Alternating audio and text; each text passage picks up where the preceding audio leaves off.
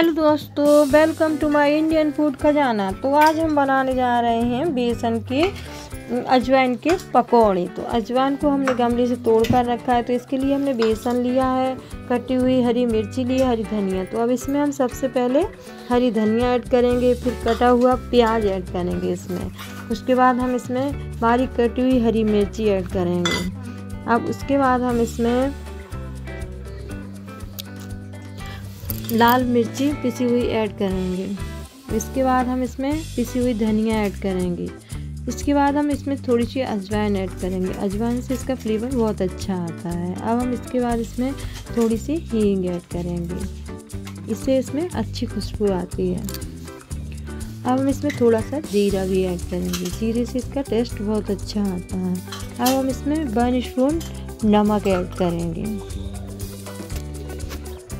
अब हम इसको पानी डाल के अच्छे से मिला लेंगे सारी चीज़ों को। अच्छे से मिला लेंगे। ताकि इसका अच्छा सा, गाढ़ा सा पेस्ट बन के तैयार हो जाए। और इसमें थोड़ा सा पानी और ऐड करेंगे और फिर इसको अच्छे से मिला लेंगे। अभी अच्छे से पेस्ट बन के तैयार होने वाला है तो इसको थोड़ा सा और मिला लेंगे अच्छे से, ताकि इसके पकोड़े बहुत ही अच्छे बने। अब हम गैस को ऑन करेंगे और इस पर हम इसको फ्राई पैन को रख देंगे। अब इसमें हम मस्टर्ड ऑयल डाल देंगे।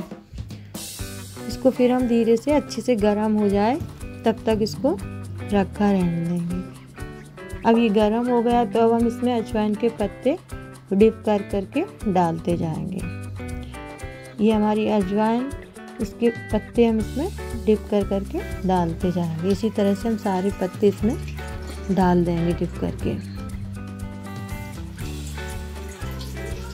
ये अजवाइन के पकोड़े बहुत ही फ़ायदे करते हैं। इसको हमने अपने गमले में लगा के रखा है, उसी में से तोड़ के लाई हूँ। और ये बहुत ही फ़ायदेमंद होते हैं। अजवाइन गैस में भी बहुत ज़्यादा फ़ायदेमंद होती है और वैसे भी बहुत सारी दवाइयों पर चलती है।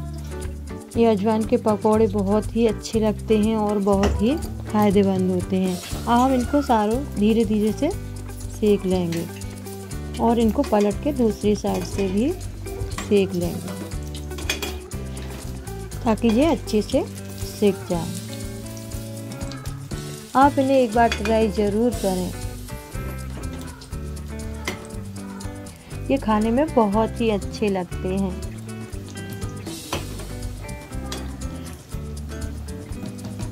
इस तरह से इनको सेक लेंगे अच्छे से। ताकि ये अच्छे से दोनों साइड से सेक जाए। अब हम इनको एक प्लेट में निकाल लेंगे। देखो कितने अच्छे सेके हैं ना। दोनों साइड से बहुत ही सॉफ्ट होते हैं, बहुत ही मुलायम खाने में, बहुत ही टेस्टी होते हैं। आप इन्हें अपने घर पर एक बार ज़रूर बनाएँ। इसको हम टमाटर और धनिया की चटनी के साथ खा सकते हैं। अगर आपको ये पकौड़े अच्छे लगें तो आप आप भी अपने घर में ज़रूर बनाएँ और चैनल को लाइक करें, सब्सक्राइब करें, शेयर करें और कमेंट करके ज़रूर बताएँ एक बार। तब तक के लिए धन्यवाद। मिलते हैं।